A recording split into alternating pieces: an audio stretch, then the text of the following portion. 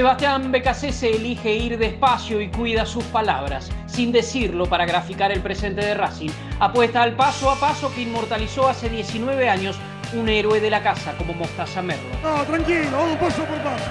El parate forzado por la pandemia frenó a un equipo que venía en alza y la misión es regresar rápidamente a ese camino victorioso. La Libertadores es algo más que un sueño. Hasta el momento la academia jugó cuatro partidos y ganó tres Mañana visitará a Nacional de Montevideo y con un punto avanzará a los octavos de final. ¿Racing es candidato a ganar la Copa? Difícil asegurarlo, sobre todo después de seis meses de inactividad, pero tiene argumentos para soñar.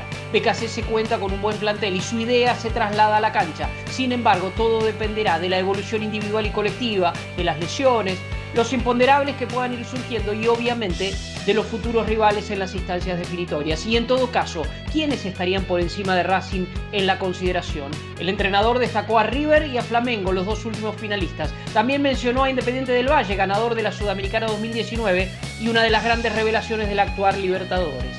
Un tiempo atrás, Lisandro López dijo que tenían que acostumbrarse a competir internacionalmente y tal vez llegó la hora de empezar a lograrlo el Racing positivo de los últimos seis años, que celebró sus tres títulos en los ciclos de Diego Coca y Chacho Coudet, tuvo dificultades para ratificar su poderío en Sudamérica.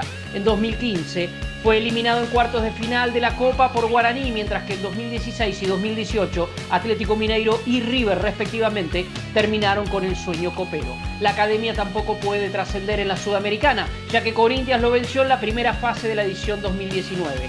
De cara al duelo de mañana frente a Nacional, BKC no podrá contar con los lesionados Lisandro López y Matías Rojas. Después de 15 días, Matías Aracho volvió a entrenarse después de tener coronavirus, pero no viajará a Uruguay.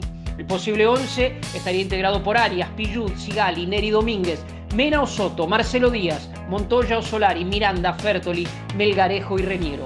¿Por qué no pensar que este equipo es candidato? Esta es la tapa del día del gráfico. ¿Quién candidatea a Racing?